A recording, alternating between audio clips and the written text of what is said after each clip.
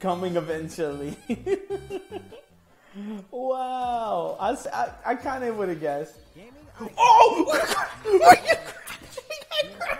isn't possible.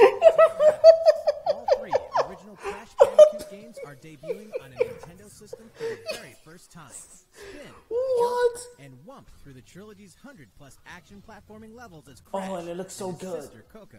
It Everything looks so good. cinematics to the Yes, thank you. The lush environments has been fully What? updated since the original games, so they'll look great on your TV or on the go.